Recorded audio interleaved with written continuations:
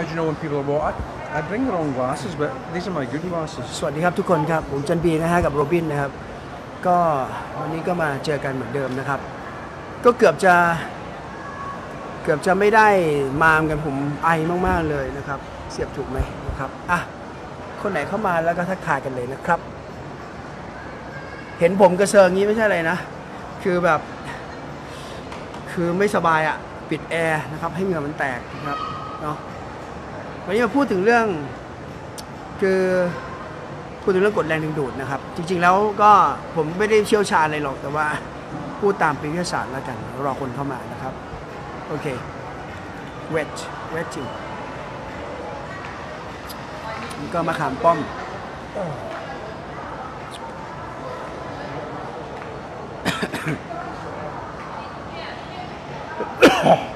มะขามป้อมอันนี้ก็จะเป็นอ่า Whoa. it's a very very uh, you know old medicine you know Thai old It medicine look old meds. What would it smell like? yeah cough That's- for coughing Wee, wee, wee. นะครับ I bet, I better put a mask on. ก็ไหนเข้ามาก็ทักทายเข้ามาเลย You're นะ very sick, you know. โอ้ป่วยมากๆเลยนะครับ ว่าเกือบจะไม่ได้ไลฟ์แล้วเหมือนกันนะครับวันนี้ เพราะว่าหายไป อะคนไหนเข้ามาทักทายกันเข้ามานะครับอะเสียงดีหรือเปล่า เดี๋ยววันนี้พูดถึง law of attraction นะครับแบบแต่ก็ไม่ต้องเป็นวิทยาศาสตร์มากผมก็ไม่ค่อยรู้เรื่องหรอก แต่ว่าไม่มีหลักง่าย ๆนะครับ ก็แต่เป็นภาษาอังกฤษเนาะก็เป็นความรู้ด้วย attraction คือ A T T R A C T I O N นะ attraction คือดึงดูด CTION, yes. law of attraction แต่บอกก่อนว่า มันไม่ใช่ว่าแบบนึกๆแล้วมันจะได้นะ มันไม่ได้มันต้องฝึก ภาษาอังกฤษเวลาคุณจะเรียนรู้อะมันจะต้องรู้รู้ส่วนหนึ่งว่าว่าประกอบด้วยอะไรบ้างนะครับมันเหมือนที่ผมสอนคอร์สออนไลน์คอร์สออนไลน์ก็จะสอนทั้งคอร์ส365กับกับใน Facebook อะครับก็สอนว่ามันจะต้องประกอบด้วยอะไรบ้าง เริ่มต้นด้วยอะไรบ้าง คุณต้องรู้ก่อนว่ามันมันประกอบด้วยอะไรบ้างแล้วค่อยฝึก ไม่ใช่ไปฝึกเลยนะครับ ฝึกเลยก็ได้ แต่ว่ามันก็จะสเปะสปะ นะครับ เพราะมันไม่มีขั้นตอนให้คุณ บางคนบอกว่างั้นหนูคุยกับฝรั่งได้ไหม ก็ได้ครับ แต่ว่าสุดท้ายแล้วเนี่ย อย่างที่ผมบอกทุกคนก็คิดภาษาไทยมาแถวหนึ่งแล้วแปลเป็นตัวต่อตัว เวลาพูดภาษาอังกฤษก็ไม่ได้พูดจากความรู้สึกตัวเองนะครับ พูดจากการไปก๊อปชาวบ้านมา หรือบางทีอาจจะมีคนพาคุณไปเวิร์กช็อปก็ได้อะพาไปสถานที่ท่องเที่ยวก็ได้ แต่ว่าให้คุณ เตรียมแต่งประโยคอะว่าจะแนะแนะนำสถานที่ท่องเที่ยวยังไง คุณเข้าใจผมพูดไหม จริงๆ แล้วในหน้างานเวลาพูดภาษาอังกฤษ ถ้าพูดกับโรบินวันนี้นะ ตอนนี้สามทุ่มนิดๆ ใช่ไหมฮะสวัสดีครับอาโป ไม่สบายครับอาโป cough very much Sick. ฉะนั้นเวลาเราก็เลยเราก็เลยเดี๋ยวรอคนเข้ามานะ แล้วก็มันก็เลย มันก็เลยเราก็เลยเข้าใจว่าแบบอ๋อไปคุย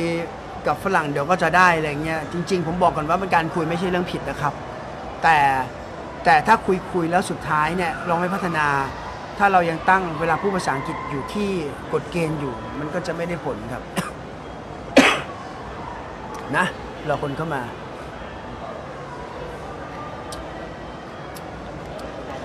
Anybody there? about six people Six is good. วันนี้ขอสักประมาณ4ี่ห้าแชร์ก็ได้นะครับนะขอสัก4ี่ห้าแชร์แล้วกัน โอเคเวทเวท Something like a bit. เหมือนเน็ตไม่ค่อยดีหรือเปล่าโอเค วันนี้คุยกันเลยแล้วกันนะครับ เพราะว่ามันจะมีคำศัพท์บางคำก็จะบอกให้ฟังนะครับนะโอเค uh, Robin because uh, I asked you before, come here. Yeah. Um, what the good line you do now? It's real or not? Because you're happy. When you're happy, you attract happy people. Well, you can attract happy people, but I find that sometimes when you are a very happy person. So sorry, you can or cannot. You can, yes. I can, okay. But, but there's other people who always want to be unhappy. I don't know why, and they get um, jealous that you're happy. Hmm. But some people just don't want to be happy. But if you're a happy person, you can attract happy people. so so it can be right possible right Yeah, of course it is, yeah. because เดี๋ยวครูจะเล่าให้ฟังนะครับโอเค same เอ่อครูครูจะเล่าให้ฟังเป็นภาษาไทยก่อนก็ได้ประมาณว่า คือแม่ครูสมัยก่อนขายของเนี่ยนะฮะแล้วก็ตอนเช้าอารมณ์ไม่ดีนะครับ ก็แกก็ขายของไม่ดีทั้งวันนะครับ พอตอนบ่ายแกขายได้คนหนึ่งแกก็ขายดี because uh, when uh, I was a kid you know a long times ago my my mom she sell about shoes Shoes. uh, shoes products. And uh, if uh, in the morning, uh, if someday in the morning, if uh, my, my mom, you know, she sell very good, she, she, she sell okay, you know, no no problem. yeah. All day she can sell very good. If uh, in the morning she sell very bad, first person, you know, come to her, her shop Yeah. and uh, cannot cannot you know can uh, not buy, you know. Yeah. So she cannot sell or maybe sell not good, you know, all day. So um, I think it depends on emotion. Well, if you're selling anything, now I have sold many things, I've had many businesses, and if you are a happy person, it is more easy to sell. If you have face like,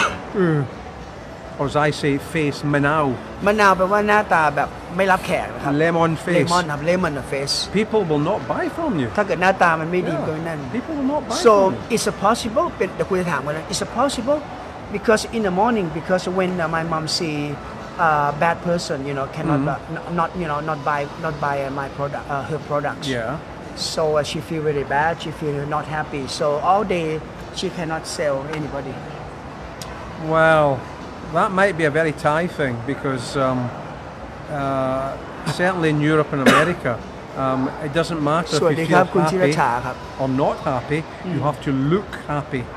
If you want to sell any product, even though you're sad, even though your dog died, you have to look happy with a smile. Like you look American TV, mm. oh, they smile all the time, mm. but they are very good at selling product. Mm. If you look sad, people think, oh, why are you sad? Are your shoes ซาแปลว่าแซดแปลว่าเศร้า bad quality? bad quality If you're happy, they think,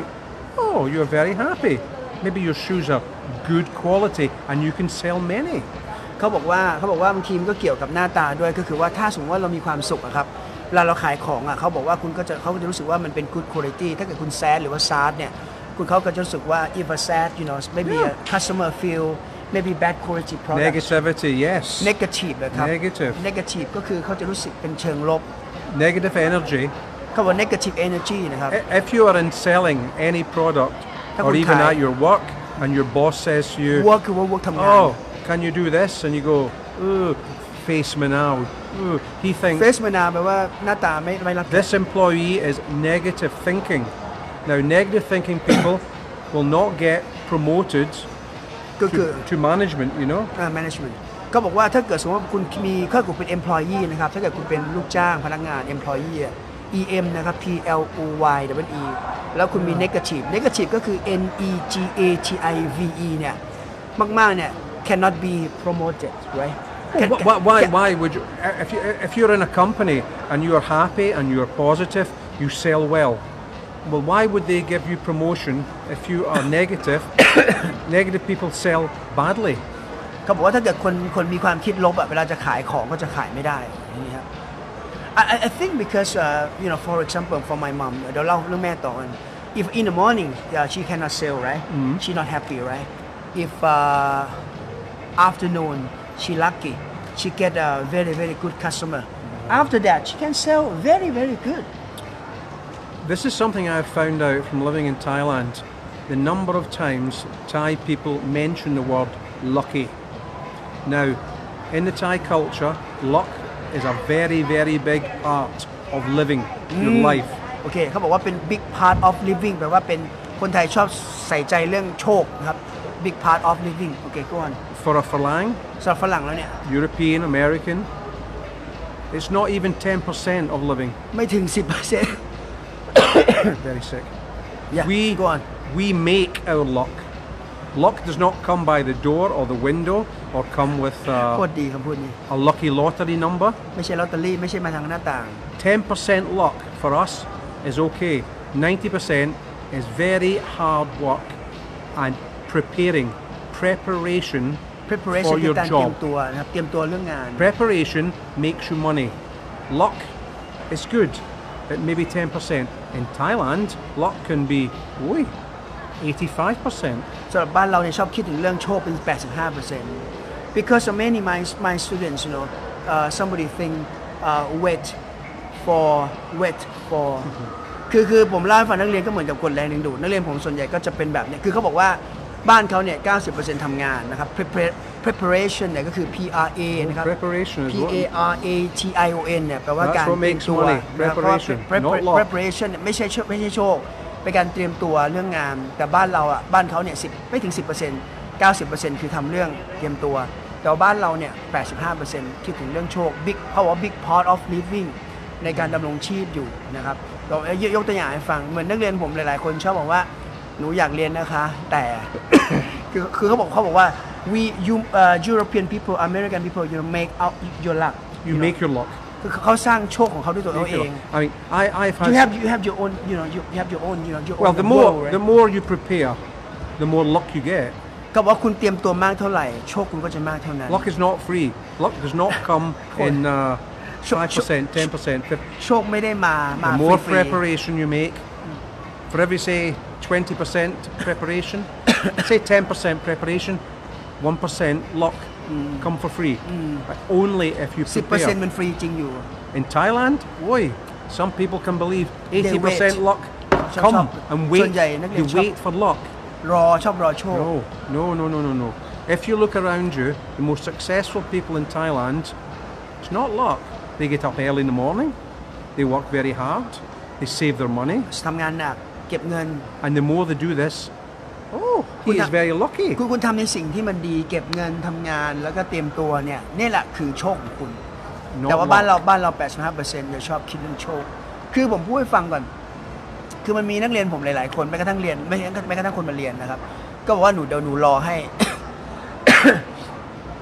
ผมบอกกันเดี๋ยววันนี้ผมไม่สบายอะแต่ผมพอมาได้นะครับ พอมาได้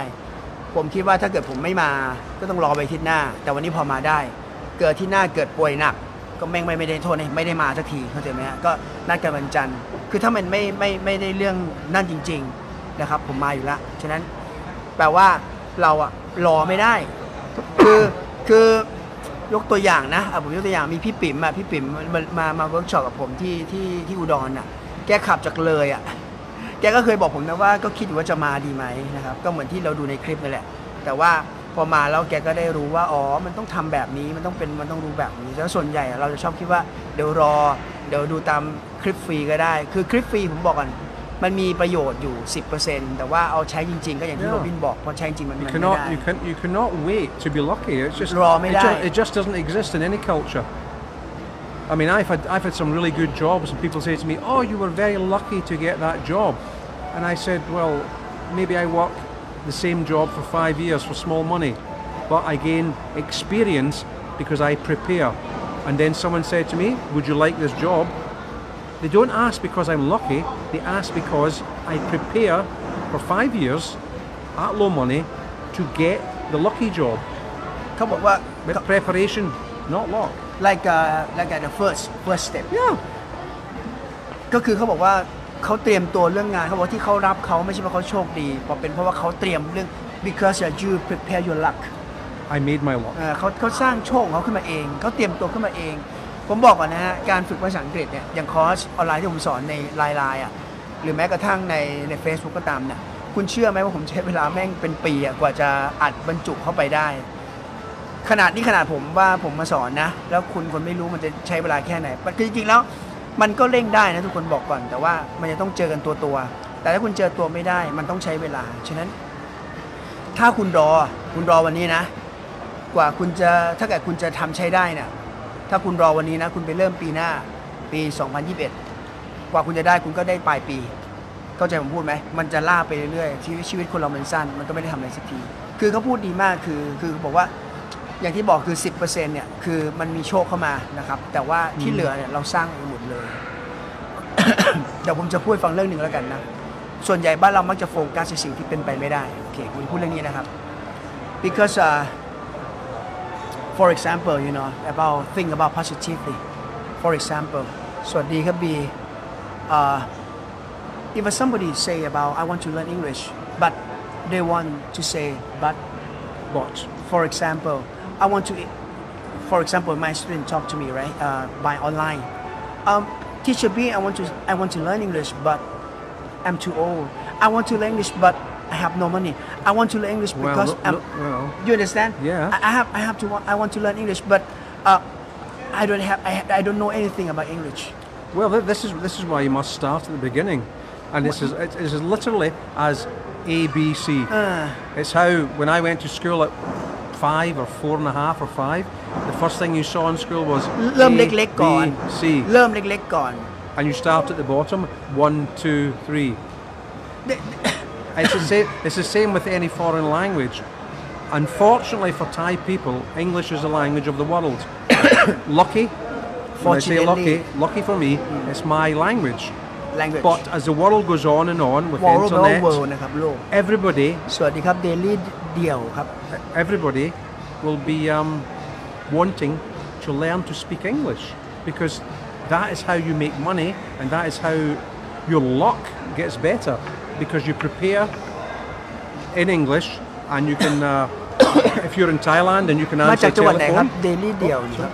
Yeah, no, yeah, yeah. If you're in Thailand and you can answer the telephone to New York and say, hello, New York. New York, New York. Ah, you want to place an order with my company? Oh, how are you? What's the weather like in New York? In New York, this man or lady said, oh, this man in Thailand or lady speaks very good English. Oh, order. What is your name? And the order. Products. And then they say to you, what is your name? I would like to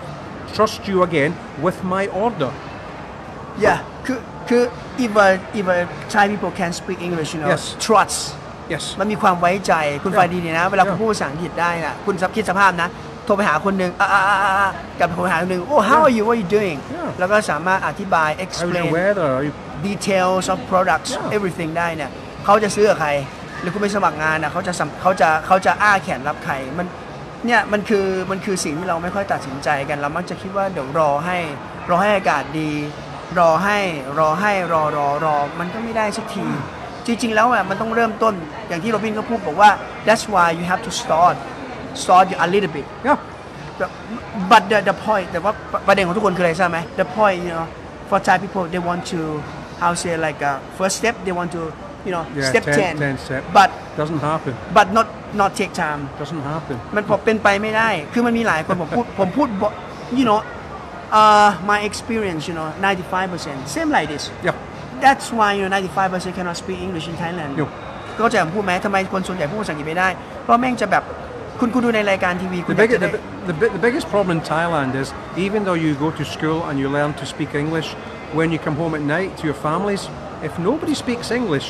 you can't practice. And I've said many times, preparation and practice. ฝึก These ด้วย are exactly the same thing. Prepare, practice, prepare practice. get to that, but but if you have no uh, English speaking friends,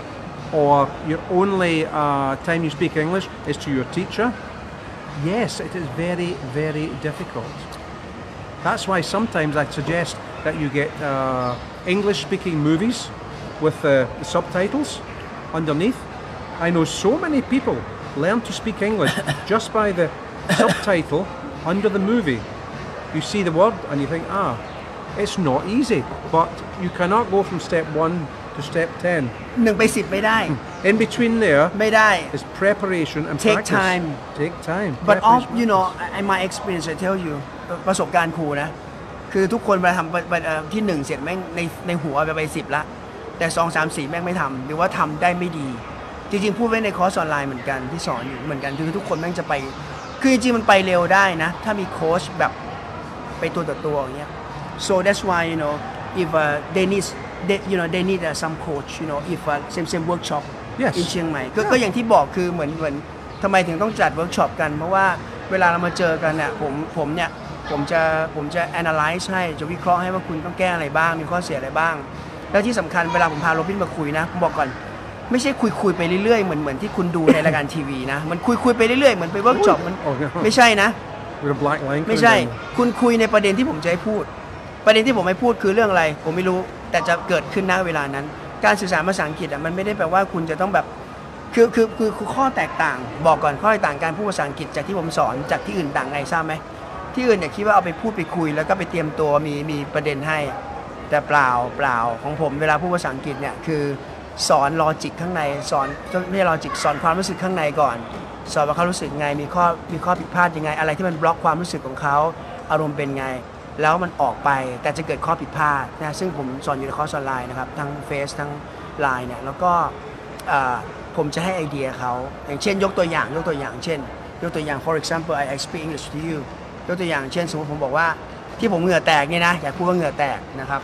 แต่ว่าแล้วก็เพราะว่าผมอะแบบผมต้องการให้เหงื่อมันออกนะครับตอนที่ขับรถอยู่ตอนมานี่นะครับแต่ว่าผมไม่รู้จักคำว่าเหงื่อนะ because I um ดูผมพูดนะ my body you know has a water because when I drive car here Yeah, I close air conditioner yeah. so uh, water you know Sweat. uh, sweat oh sweat how to spell sweat Water. Sweat. S W U E A T. no no Sweat. I, for example you know if I don't know about vocabulary sweat Uh huh. I, I want to show them they, they can they can speak some word Of course you can. Good- S- good- good, Same mate. as. I mean, ได้ได้หมด ได้หมด I, w- I went to uh, Shanghai in China. Uh, What- what's on the 20, 20 years ago. I went, not many people speaking English, but with signs and drink Sign. and this and that. I spend many hours talking to Chinese people and they laugh and we make joke. Nobody speak English 20 years ago. Now it's different, you know. ผมผมเคยสอนในขั้นตอนหนึ่งในคอร์สออนไลน์ก็คือว่ามันจะต้องในตอนเวิร์กช็อปเหมือนกันมันมีขั้นตอนหนึงคือขั้นตอนผิดพลาด แต่ขั้นตอนเนี้ยทุกคนน่ะแม่งไม่อยากรับรู้เรารับรู้แม่งกูจะรู้สึกไม่ดี because I tell my student in my in my online co- course Right. uh, one step you know you must know it's a mistake step because when when when we learn about mi- mistake step we can you know more have a more experience I give you uh, an idea. In Idea. Thailand, you have Idea. Muay Thai boxing, okay? มวยไทยอะ When you learn to box, okay, เวลาคุณต่อสู้ the mistake is ผิดพลา they, ด they hit you. ก็ That's ต่อย a โดนต่อย mistake, อ่า okay? อ่ามิสเทคละ But unless you try, when you're starting, Stronger. you make mistake, make mistake, make mistake. But next day you make maybe two mistake, one, two. อาจจะผิดพลาดสองครั้ง One week later, After maybe you make that- one mistake, one, and you punch them. No Muay Thai boxer became champion without making a mistake of letting the other man hit him. You must make mistakes if you want to be คือ successful. ถ้าต้องการจะประสบความสำเร็จต้องเรียนรู้ความผิดพลาด Top Thai I man. always you know tell them but that they um, how say like scare because Ah, of their scare what? family แล้วก็คุณรู้ไหมว่าคุณไปเรียนตาม ผมเคยบอกแล้วว่าคุณไปเรียนตามพวกคลิปต่างๆ ที่บอกว่าใช้ผิดคุณจำได้ไหมผมมีคลิปออกมาก่อนหน้านี้บอกว่า อย่าไปดูคลิปที่ว่าใช้ยังไงอะ เพราะสาเหตุนี้แหละเวลาคุณดูว่าคลิปมันใช้ยังไงอ่ะในหัวของคุณอ่ะแม่งกังวลมากเกินไป because uh, somebody study uh, some clip video right Yeah. because uh, oh this uh, word you know wrong this word wrong this word wrong That- that- when they speak English English you know they they worry too much they they get more information คือคุณรับข้อมูล Thai- Thai มากเกินไป Thai culture is all about worry. Now, my culture, we worry as well, but we worry about different thing from Thailand บ้าน people. บ้านเขาก็จะกังวลอีกเรื่องหนึ่ง But Thai people worry about um, looking stupid. ใช่บ้านเราจะรู้สึกว่า Whereas- คนอยากไม่อยากไม่อยากดู whereas- เหมือนเป็นคนโง่ Farangs Farang look bang hao. stupid. we don't care.ไม่ We สน make, ใจ we make joke, we make face. um, sometimes cut hair stupid or บางทีตัด grow, ผมแบบตลก grow big beard. We look stupid, but สวัสดีครับคุณพัชรี We don't worry. โคราชนี่ we are, it's just it's just different culture. different culture That's why learn English. Stop worry. I know it's difficult, but if you're a girl listening to this, do you want a, a foreign husband? Boy, do you want to go and live in America อ or ยาก go and live อยาก in จะไปอเมริ Australia? กาไหมอยากจะไปออสเตรเลียอยากจะมีแฟนเป็นฝรั่งไหม Learn to speak English. มันต้องเรียนรู้ For men here, do you want to come to England and look at Yeah, Manche- thank you, mate. Manchester United? อยากไปแมนเชสเตอร์ไหม Do you want to come to London and look at Chelsea? อยากไปเชลซีไหม You can speak English. You get a new job in Thailand. You and you become export telephone specialist. ส่งออกอะส่งออกอะเออโทรศัพท์ Export to English speaking company. so then these companies phone from Canada and they say, "Oh, hello, is ส that วัสดีครับอ้อม uh, is that John? Is that oh, I deal with you. I know you speak English. like many people in Pattaya say, easy you know Yeah. easy people in Pattaya, I say to them, I never say, do you speak English in a shop? I say, do you understand English? Understand and speak. You can speak English, but not understand what you say. I can speak to you. If you understand me, I'm very happy. really joking because uh, my student, you know, uh, Yeah. she said she want to have a foreign, uh, uh, you know, a foreign boyfriend. How I know. No, no, but but but but but she must, you know, um, go away. She want to take um, uh, her husband, you know, somewhere. You know, br- you know, Take break him where? break up, break up. Oh, she have a husband now? No, no, no. She she said joking. She has Oh, right, a husband, right? Now? Yeah. Oh, But- cannot do. Oi, oi, oi. joking, joking. She want to swap. Yeah, yeah, yeah. No, Well, you never so, know. So, yeah. joking, joking. As I say, if only to learn English to make money. Everybody need money If you become the export ถ้า specialist พูด on the ภาษาอังกฤษ telephone, ได้เงินก็มา promotion. เออ ก็ได้รับโปรโมชั่นได้รับการเลื่อนตำแหน่ง Lady as well. Lady work maybe bank. Oui. All of, su- suddenly she's phoning America about dollar. Thôi She's bay. phoning Europe about euro. She's phoning London about คือคุณ pounds. คุณคุยคุยเป็นเงินยูโรกับดอลลาร์ not บาท Promotion. อืมก็คือ Promotion. Make money. Everything becomes easier. I'm not saying it's hundred percent for life, but money ระวังผัวมาดูนะอ้อม It makes my life easier. I mean, I uh, I was a little bit lucky, but I worked very hard. But when I stopped ฮอน working, แปลว่าฮาร์ดแปลว่านั้น as long as you had money, now I can live in uh, in Thailand. I mean, I can't work in Thailand. I can't make any money in Thailand. So you have to do that first. สวัสดีครับเชฟวี่เจนนี่ครับ Huh? yeah be- because she she want to uh,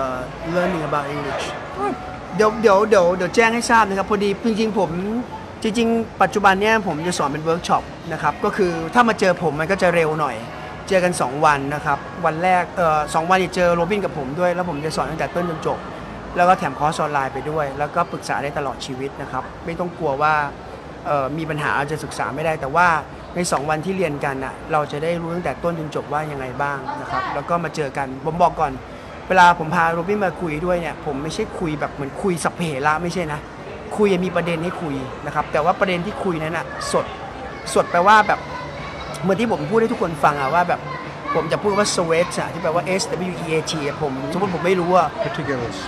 อยู่บางแสนครับชนบุรี แต่ว่าก็เดี๋ยวมีไปจัดตามจังหวัดอยู่ครับ หนูชื่ออะไรเดี๋ยวหนูทักมาที่ไลน์ at teacher beaver นะครับ นะ What? ครับ because she want to learn English because she asked me you know where I am Oh, where where is she? I don't know แล้วตอนนี้อยู่แถวไหน Oh, very ตอนนี้ good. หนูอยู่แถวไหน Yeah. จ๊ะ เชฟวี่นะครับ แจนนี่ เรียกแจนไหมชื่อแจนแน่ชื่อแจนนะครับ so and uh, Both in some It doesn't matter where she is. คือคือคือ You you could do a paper every day. ก็อย่าคือ คือจริง ๆ ทุกวันนี้มันง่ายมาก ๆ เลย คือ คือเวิร์กช็อปเนี่ย มัน มันมันเวลาสอนอะยกตัวอย่างสอนอะไรบ้าง สอนอย่างแรกคือ เราเรียนไปเพื่ออะไรนะครับ เรียนไปเพื่ออะไรอ๋อปากเกร็ดนะครับเจนอยู่ปากชื่อเจนเหรอชื่อเจนอยู่ปาก What? อีปากนนทบุรี Oh, non February. Oh, not เดี๋ยว far from เดี๋ยว Bangkok. จะ Not มี far ไป from จัดอยู่ Bangkok, นะครับ yeah. เดี๋ยวไงเดี๋ยวบอกเจนอีกทีหนึงเนาะเป็นเวิร์กช็อปกันก็กลุ่ม คือผมพยายามไม่ให้กลุ่มใหญ่ How, มาก how far is that from Bangkok? Not too far. I think from here about one hour No, no, from Bangkok. Yeah one one hour Yeah, yeah, yeah. Not far. Yeah, not ไม่ far. ไม่ไกล Well, we've told them where we are. ตอนนี้เราอยู่พัทยานะครับ Terminal 21 นะครับ T21 ก็เปลี่ยนไปเรื่อยเลยนะครับ ผมมาจากบางแสนนี่สอนที่บางแสน หลังๆเนี่ยคือก็จะปะผมก็จะผมจะไปเน้นเวิร์กช็อปมากขึ้นเวิร์กช็อปเนี่ยคือมันก็มีข้อดีคือ คือคือผมเจอเจนหรือว่าคนอื่นอะ ผมแบบ ผมแบบพัวพัวๆได้เลยว่าให้แก้อะไรบ้างนะครับ แล้วก็ มันได้ฝึกในสถานการณ์จริงการคือการพูดภาษาอังกฤษจากความรู้สึก คือผมอธิบายก่อนนะ I explain them about uh, how to speak English you know from you know what I feel you know Yeah. คืออธิบายให้ฟังก่อน คือคือเป็นอย่างเงี้ยอธิบายก่อนแล้วกันนะ คือบางคนเนี่ยเวลาเราพูดภาษาอังกฤษเนี่ยเราฟังดีๆนะทุกคน คุณคิดภาษาไทยมาแถวหนึ่งแล้วแปลเป็นตัวต่อตัวถูกไหมคนไหนไม่เคยฟัง หรือว่าคุณไปจำประโยคพื้นฐานมา แล้วคุณก็เอ่อไปเจอของจริง คุณอยากพูดแบบนี้นะ แต่คุณพูดไม่ได้คุณต้องไปหาประโยคมาให้มันแมทช์กับที่คุณอยากจะพูด หรือบางทีคุณอยากพูดภาษาอังกฤษเนี่ยสิ่งที่เป็นกันเยอะอีกเรื่องหนึ่งคือ จะพูดยังไงดีวะจะใช้คำไหนดี คุณไฟดี พอเราคิดว่าจะพูดยังไงดีอะฟังดีๆพอเราคิดว่าจะพูดยังไงดีอะเราไม่ได้มีความเป็นตัวของตัวเองแล้ว เราไม่ได้รู้สึกเลยว่าเราจะพูดว่ายังไง คือถ้าเราตั้งต้นที่เราจะรู้สึกว่าพูดยังไงก่อนน่ะฟังดีนะทุกคนถ้าเราตั้งต้นนะว่าเราจะพูดยังไงก่อนนะ เดี๋ยวมันจะไปหาวิธีการพูดว่าจะพูดยังไง แต่เมื่อคุณพูดได้คุณจะพูดจากความรู้สึกของตัวเองถูกไหม แต่เราไม่ได้ขึ้นมาจากความรู้สึกของตัวเอง เราเป็นแบบนี้ อันนี้ใช้ยังไง อันนี้ใช้ยังไง อันนี้ใช้ยังไงใช้ยังไง คือมันเยอะไปหมดจนจนกลายเป็นว่าคุณจะต้องพูดโดยที่เขาสอนแต่ว่าไม่ได้พูดโดยอิงจากความรู้สึกของตัวเอง คนเราสื่อสารโดยธรรมชาติอะมันสื่อสารโดยผูกกับความรู้สึกแล้วก็อารมณ์จิตใจ แต่กลายเป็นว่าคุณพูดภาษาอังกฤษอะคุณเป็นไหมภาษาไทยมาแถวหนึ่งแปลเป็นตัวต่อตัวจำประโยคมาตอบพอของจริงไม่ใช่หรือ คิดว่าจะพูดคำไหนดี เอาจริงไหมอะฉะนั้นบางทีบางคนก็เลยคิดว่าไปพูดภาษาอังกฤษกับฝรั่งพูดพูดไปซะนะแล้วเนี่ยจากความรู้สึกไม่ใช่ บางคนเลยคิดว่าเดี๋ยวพูดพูดไปซะเดี๋ยวก็เก่งไม่ใช่ เพราะถ้าเกิดเวลาคุณพูดภาษาอังกฤษกับฝรั่งถามนิดนึงถามทุกคนก่อนเวลาพูดภาษาอังกฤษฝรั่งใครเป็นบ้างหัวใจรัวๆมา เวลาพูดทีหนึ่งเป็นไง ใช้คำไหนดีวะจะพูดยังไงดีวะคือคุณไม่ได้คิดเลยว่าคุณจะรู้สึกได้ว่ายังไงนะครับอะสมมติผมบอกว่า ผมบอกว่าผมบอกว่าไงเนี่ยผมบอกว่า ผมเอ่อเอาไงดีผมว่าผมจะพาแม่มาอยู่ที่ชลบุรีนะครับ เพราะว่าคุณพ่อเอ่อเพราะว่าเธออยู่คนเดียวอะไรเงี้ยครับ แต่ก็ไม่ไม่รู้ว่าเธอจะมาไหมอะไรเงี้ยครับ ถ้าผมพูดอย่างนี้นะทุกคนก็ต้องคิดเดลี่เดียวครับ ใช่ครับ จริง ๆ มันต้องแก้ข้างในอะครับ ถ้ามาเจอกันผมจะเขียนเป็นฉากผมจะเขียนเป็นฉากของจิตใจข้างในให้ จริงๆ มันเป็นวิทยาศาสตร์เลยนะ เอาเป็นว่าในรายการทีวี หรือว่าในคลิปในวิดีโอใน YouTube ผมให้คุณไปดูได้เลย ไม่มีเลยอะ่ะ แต่ผมไม่สามารถทำวิดีโอเสร็จทีเดียวได้ คือก็ทยอยทยอยทำออกมา แต่คุณเชื่อไหมว่ามีมีน่าจะถ้าถ้าถ้ารวมกันให้อธิบายให้มันเข้าใจจริงน่าจะเป็นร้อยอะนะ ก็อย่างที่บอกถ้ามาเจอกันก็เร็วขึ้น อธิบายให้ฟังอย่งนี้สมมติผมจะพูดแบบนี้นะว่า ผมอยากจะพาแม่มาชลบุรีนะครับ แล้วก็เพราะว่าเธออยู่คนเดียวที่อุดร แต่ไม่รู้เธอจะมาไหมนะครับ ผมพูดแบบก็ได้ว่า my friend ก่อน งงไหมผมพูดเรื่องนี้นะ โอเคผมพูด my friend นะครับโรบิน my friend you know tell me you know I should uh, uh, you know take my mom here come here in Chonburi Yeah. because uh, maybe she feel happy Yeah. and uh, but I'm, I'm not sure you know she come or not Well, เห็นไหมเข้าใจเหมือนกัน หรือโอเค for example ครูชูครูใช้คำว่าครูใช้คำว่าไม่รู้แล้วกันนะ I don't know my my mom you know she she come Chonburi or not but the- uh, but I think you know Chonburi is really good place you know Lovely. it's a good view Oh, yeah. you know good people you know fresh air. Well, yeah fresh air you I get. think if she come here you know she not lonely she uh, Yeah. feel very happy Yeah. but I need to ask her again I, I need to check her again Oh, I think so. เห็นไหมพูดอย่างนี้ก็ได้ คือพูดยังไงก็ได้อะแบบ คือเชื่อไหมว่ามันต้องแก้ภาษาไทยไม่ใช่แก้ภาษาอังกฤษนะครับ บางคนบอกว่าเวลาพูดภาษาอังกฤษให้ลืมภาษาไทย มันลืมไม่ได้ แต่ว่ามันบทภาษาไทยเป็นความรู้สึกได้ so and uh, what about อะถามทุกคนดีกว่าไปเที่ยวไหนกันมาบ้างครับ New Year ไปเที่ยวไหนกันมาบ้าง เดี่ยวใช่ไหมฮะ Day Daily เดี่ยวใช่ไหมกับเจนนะครับ ไปเที่ยวไหนมาบ้าง ก็ครูจะมีมีเวิร์กช็อปนะครับ ก็เนี่ยยังจริง ๆ จะโปรโมทก็ยังไม่ทำเลยเพราไออยู่นะครับนะโอเค so and uh, โอเค ถามโรบินดีกว่าครับ ว่าโรบินเขาทำอะไรบ้างใน Happy New Year so because uh, somebody asks you you know what to do uh, Happy New Year 20 2020 uh, What am I doing this year? yeah this year Oh, this year. Oh, well, this year could be very much like last year and the year before that. Um, just enjoying life in uh, Pattaya and ก็ in มา Thailand. ก็เที่ยวพัทยานะครับ Um, I can ride my motorbike every day because the sun is out. เขาเขียน Um, every day I can go Uh, to the market and keep buy aside. fresh fruit, fresh vegetables. I have so much time to chop, chop, chop and make food. ชอบชอบชอบ Um, เหมือนกับสับเอ่อทำอาหาร When I live here in Thailand, um, my health is very, very good. My health สุขภาพ Um, นะครับ I have many friends who come here just to visit me Visit and have, me. have holidays. Holiday. Um, there's so, whoa, did the lights go out? It's All okay, right. it's okay. The lights went out. Um, just have a, a happy, a happy year, เป็นเป็นปีที่ดีนะ and maybe this year meet a new lady. Mm. อาจจะปีนี้ก็อาจจะมีแฟน so we have a workshop in เชียงใหม่นะครูก็จะมีเวิร์กช็อปเชียงใหม่ในเดือนนี้นะครับ แล้วก็คือจริง ๆ แล้วเนี่ยเวิร์กช็อปมันไม่จำเป็นว่าครูต้องจัดนะ ถ้าคุณมีกลุ่มก็บอกกันมาได้ครูจะไปกับสองคนเนี่ยนะครับจริงๆแต่ก่อนสอนตัวต่อตัว แล้วก็นั่งแบบสอนเป็นชั่วโมงหลังๆไม่อยากสอนละไม่หนุกเลยนะครับ โอเค ก็ทุกคนสนใจนะครับ ก็เอ่อติดตามที่หน้าเพจนะครับ แล้วก็ใน YouTube นะครับ อันนี้ก็จะไปลงไว้ใน YouTube เหมือนกัน ก็มาดูย้อนหลังด้วย นะครับเอ่อคนไหนสนใจคอร์สออนไลน์ก็ก็ก็ติดต่อมาแล้วกันนะครับ ติดต่อเอ่อติดตามมาที่ Line นะครับ @teacherbeaver นะครับ ข้อมูลอื่นๆก็มาที่ b l o g d i t นะครับ เป็นพวกคอนเทนต์นะ Instagram แล้วก็ Twitter นะครับ Teacher Beaver นะครับ แล้วก็ YouTube ก็ YouTube ก็ Teacher Beaver เหมือนกันนะครับ แล้วก็กดติดดาวนะครับ ที่เพจผู้ภาษาอังกฤษจากความรู้สึกนะครับ เวลามีคลิปใหม่ๆจะได้ไม่พลาด เวลามีไลฟ์สดนะครับ จริงๆ ก่อนหน้านี้ก็จะไลฟ์เหมือนกันนะ แต่ว่าไม่ค่อยสบายอายมากๆนะครับ ก็ก็นั่นแหละนะ The Workshop เดี๋ยวจะแจ้งแล้วติดกดติดตามในในไลน์นะครับ at teacher beaver นะครับ วันนี้ก็น่าจะพอประมาณนะครับที่อยากคุยมากกว่านี้นะ โอเค ขอบคุณทุกคนมากนะครับ อย่าลืมผู้ภาษาอังกฤษความรู้สึก